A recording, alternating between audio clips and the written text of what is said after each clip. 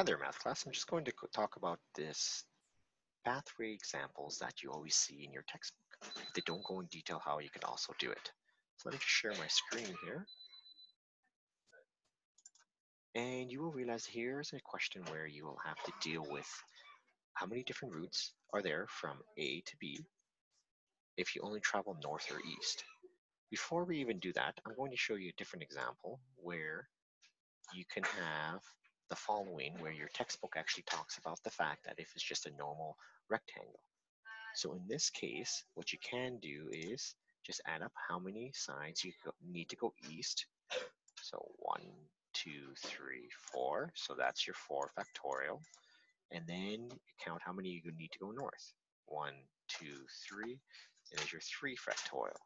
So in total, we have seven paths that's very muched up. Let's just show it right here. So that's what will be right there. But unfortunately, you can't do this with this because they get merged right here. So here's another way I could show you. So we're just going to go back to this one like earlier. So let me just take that off, take that all off, and I'll show you another way you can actually tackle this problem. You want to start from A, and you want to get to B. So you make a pathway of ones all across going east, or west in this case, I should say, and then three ones going up for north. And now you're just going to add them. 1 plus 1 makes 2, goes in this direction. 2 plus 1 makes 3. And then 3 plus 1 makes 4. Same thing over here. 1, 1 plus 2 makes 3. 3 plus 3 makes 6. 6 plus 4 makes 10. So 1 plus 3 makes 4. 4 plus 6 makes 10. 10 plus 10 makes 100. Oh, sorry, 10 plus 10 makes 20, not 100. And then 1 plus 4 makes 5. 5 plus 10 is 15. And then 15 plus 20 makes 35. Okay, let's just double check if we get 35 also for this case. So 7 factorial, 7 times 6 times 5 times 4 times 3 times 2 times 1 over 4, 3, 2, 1. So there's your 4 factorial. And then you have your 3 factorial. 3, 2, 1. So I'm going to cross all this out, going to cross all that out, and we're left over with 7 times 6 times 5. 7 times 6 times 5 gives us 210.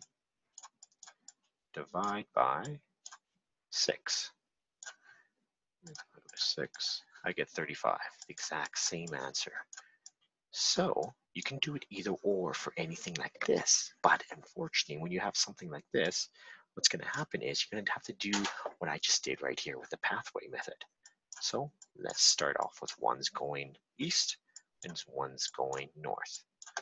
And like I said earlier, you're adding one and one to make two, two and one to make three, three and one to make four.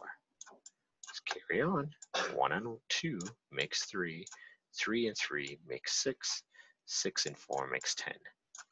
One and three makes four, four and six makes 10, 10 and 10 makes 20. Okay, well, what do we add now?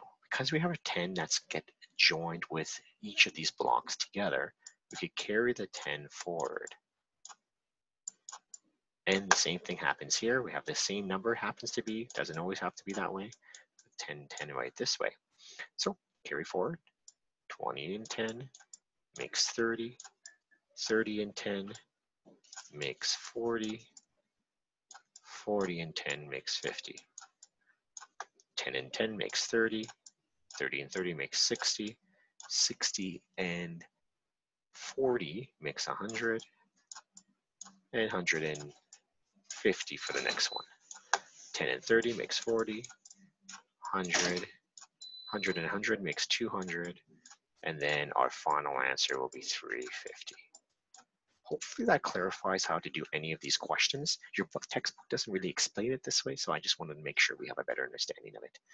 Remember, you could keep you could do this pathway method with um, going across, and then um, so in this case we're going north on a diagonal and then to the west direction, east direction, I should say, and then keep going in that format. Here's the most mistakes that students make. They have to carry the 10 when they get to this point and carry the 10 right here. Hopefully that helps. Have a great day.